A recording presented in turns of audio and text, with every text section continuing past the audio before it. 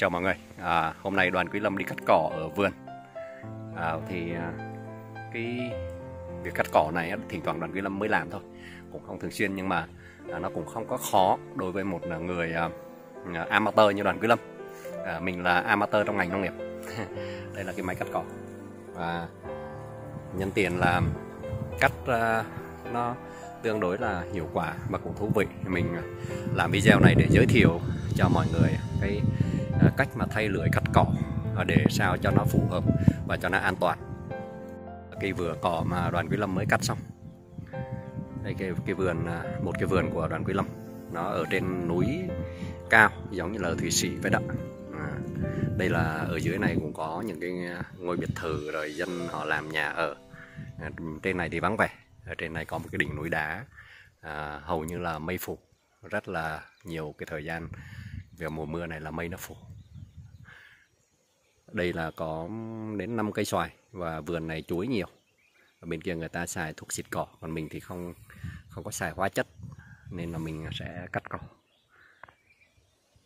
bạn thấy đây là máy cắt cỏ đã thay cái trục này nha cái trục này, trong thuật ngữ nông nghiệp là gì mình không biết nữa. nhưng mà là cái giờ này để thay vào để cuốn ờ, dây cước hoặc là dây thép thì ờ, mình ờ, sử dụng dây cước thì mình thấy là nó rất là à, mau đứt. Đây dây cước mình bỏ một sẵn trong túi này. Nó đứt là mình thay đứt là mình thay.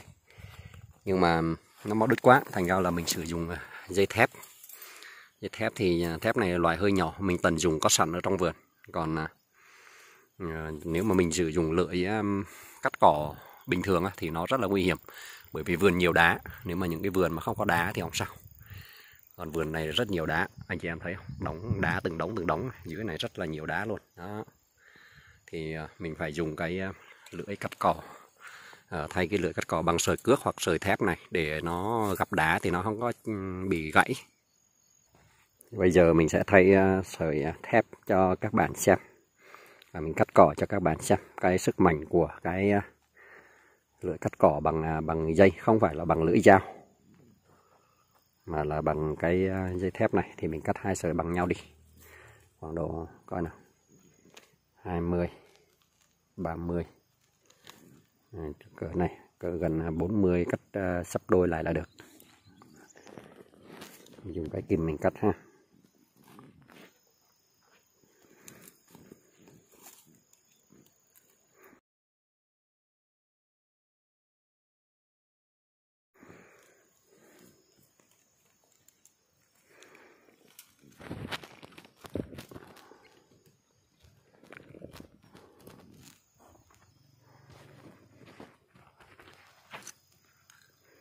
Và đây, bây giờ mình sẽ có bốn cái um, cái chỗ để mà buộc này.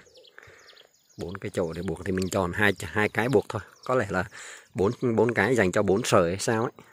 Ờ, nhưng mà mình dùng hai sợi là ok rồi. Mình sẽ buộc hai, vào hai chỗ đối xứng nhau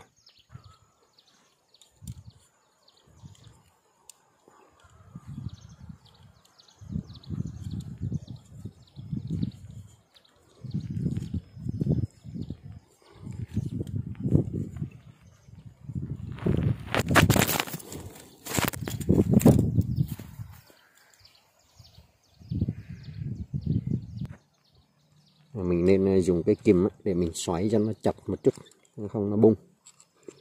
Dùng cái kìm mình, mình vặn cho nó, nó cuốn vào nhau chắc hơn. Đó các bạn sau khi mình cuốn xong thì nó có hai sợi dây như thế này. À, mình sẽ cắt uh, bền hơn sợi dây cước khoảng uh, 10 lần. Thay vì 10 lần thay cước thì nó chỉ một bằng một lần thay cái sợi này thôi. Rồi nó cũng đứt nhưng mà nó lâu hơn. À, phát mạnh hơn. Đương nhiên với à, người làm vườn chuyên nghiệp thì không nói làm gì nhưng mà mình đang làm video cho uh, amateur dân amateur với nhau mà. Mình um, hướng dẫn nếu mà đối với dân làm nông chuyên nghiệp thì người ta cười nhưng mà đối với dân amateur như dân bỏ phố về rừng này dân tri thức giám đốc nhà báo luật sư về làm vườn thì có thể coi chia sẻ cùng video của đoàn Quý Lâm thì nó hợp hơn những người làm vườn chuyên nghiệp đừng cười. À, đây là chai xăng. Xăng mà pha nhớt nha. Và anh chị em à, lưu ý là xăng phải pha nhớt vì máy cắt cỏ thường là máy hai thì. Máy hai thì thì xăng phải pha nhớt. À, và mình pha tỷ lệ là một hai năm nghĩa là một à, một phần ví dụ như một một lít nhớt à, một lít xăng thì khoảng độ 0,25 nhớt. Để mình pha vào để cho nó mát máy. Một cái thiết bị không thể thiếu đó là đôi ủng đôi ủng để cắt cỏ nó sẽ an toàn hơn khi mình lội cỏ có thể rắn hay là côn trùng à, và nhậm gai đinh à, và nó cũng bảo vệ cái ống chân của mình à, đỡ đá văng vào. À, thứ hai nữa là cái này rất quan trọng cái kiếng kiếng cắt cỏ. Cái này chắc là rất là rẻ thôi cái kiếng để cắt cỏ à, nó bám sát vào má Ờ, và nó che kín đôi mắt để mà nó bảo vệ không cho ờ, bụi bay hay là đồ cây cỏ nó bay vào mắt. Ok. Bây giờ thì mình à, đi, sẽ cắt cỏ cho mọi người xem cái à, tác dụng của cái lưỡi cắt cỏ bằng que sắt này nhé que thép này.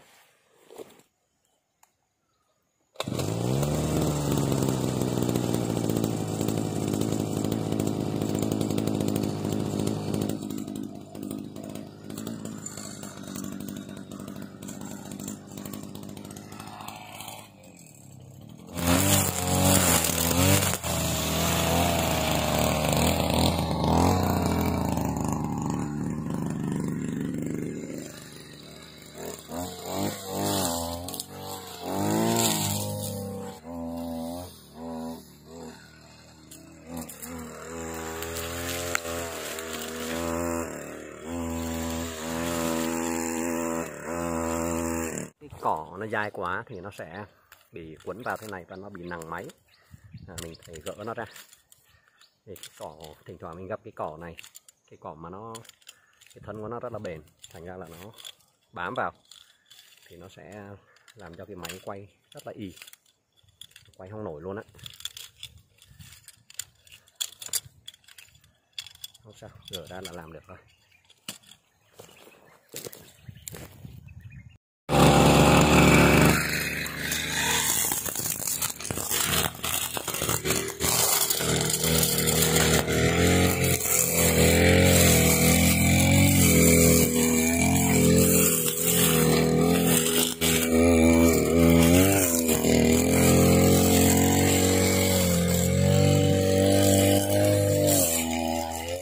Đây là chỗ chưa cắt này, và đây là chỗ à, vừa mới cắt xong này.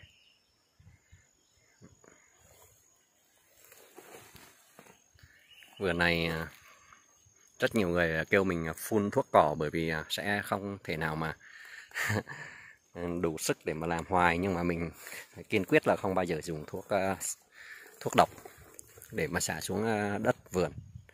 Mình sẽ kiên trì cắt cỏ trồng chỗ nào cắt chỗ đó không sao hết. Không cần phải cắt hết.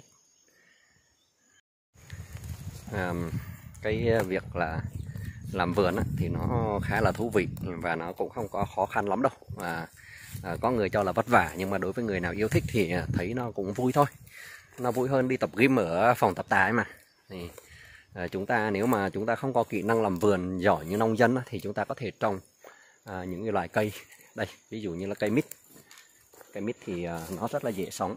À, nó à, không cần phải chăm sóc. Và nó nếu mà chăm sóc thì cũng tốt hơn. Cho nó thêm phân thì nó sẽ phát triển nhanh hơn. Không thì cứ thả mặc vậy thôi nó cũng sẽ ờ, có trái thôi. Nó cũng sẽ lớn thôi. Và thứ nữa là cây chuối. Đây mọi người có thể thấy cây chuối à, nó rất là tự nhiên hoàn toàn không phân không hoàn toàn không thuốc nó rất là dễ để mà uh, sinh trưởng và phát triển vì nó không uh, không cần tưới nước. Nếu mà mùa khô cạn thì tưới chứ cũng không tốt mà không tưới cũng không sao. Thứ nữa là cái cây mai anh đào. À. đây là cây mai anh đào. À, nó cái một cái loài hoa đặc trưng của Đà Lạt thì nó rất là khỏe rất là đẹp. À, và nó cũng không cần chăm sóc gì hết. Nó sẽ tự sống rất là mạnh mẽ. Không cần luôn không cần phân bón hay bất cứ thứ gì. Nó sẽ cho uh, luôn luôn là cho hoa vào đúng mùa. Và chuối ờ, không có phân thuốc nên có thể là hơi còi cọc một chút không sao hết. Của lâm thì cũng có xoài này. Đó. có mấy cây xoài cũng có trái. Cỏ um tùm luôn à, nếu mà theo cái ờ, tiến độ cắt cỏ của đoạn Quy Lâm với cái vườn này thì mình sẽ cắt khoảng độ 3 ngày. 3 ngày tập trung 3 ngày thì mới xong mới xong.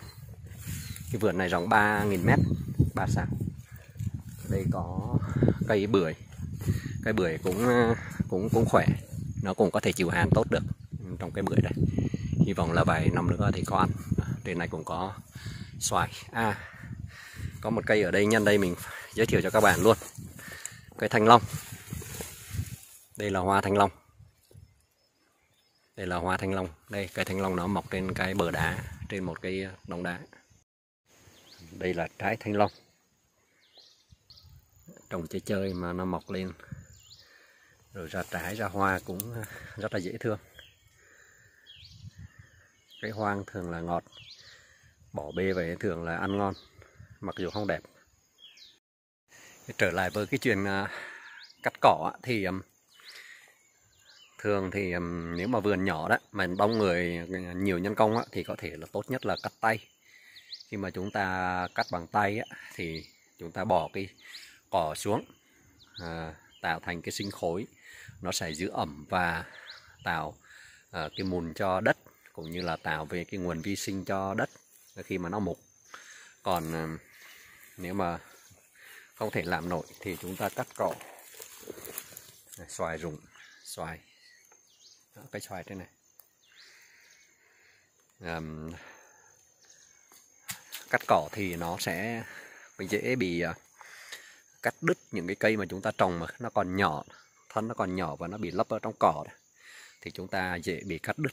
Hầu như là vườn nào cũng bị thời gian đầu cũng dễ bị uh, thiệt hại một số cây trồng vì cắt cỏ không quan sát thấy.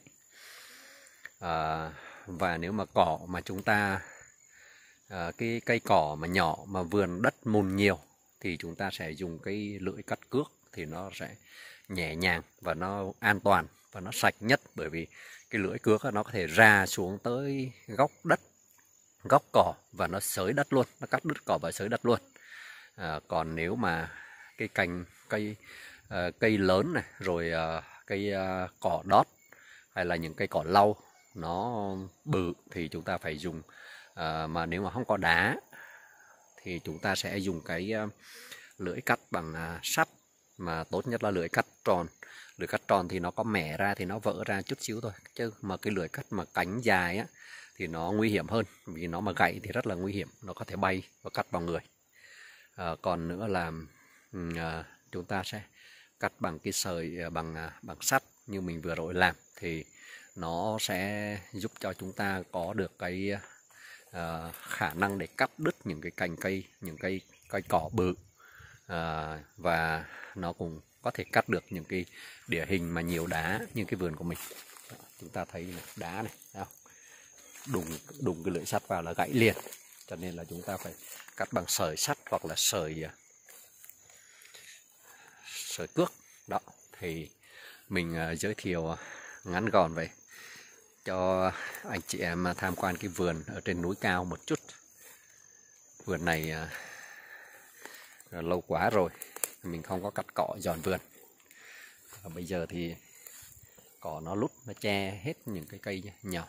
Mình phải dọn bớt ra để trồng thêm cây. Bây giờ vẫn đang là mùa mưa. Ok um, một cái uh, kẻ làm nông nghiệp amateur. Uh, cười ngựa xem hoa. Thực ra là cũng khá khá đấy. Sáng giờ cũng dọn được uh, khoảng độ 1 phần 3 vườn rồi. Bây giờ mình sẽ dọn tiếp cho xong uh, để đi về nhà. Xin chào tạm biệt mọi người. Hẹn gặp lại trong các video khác. Xin chào.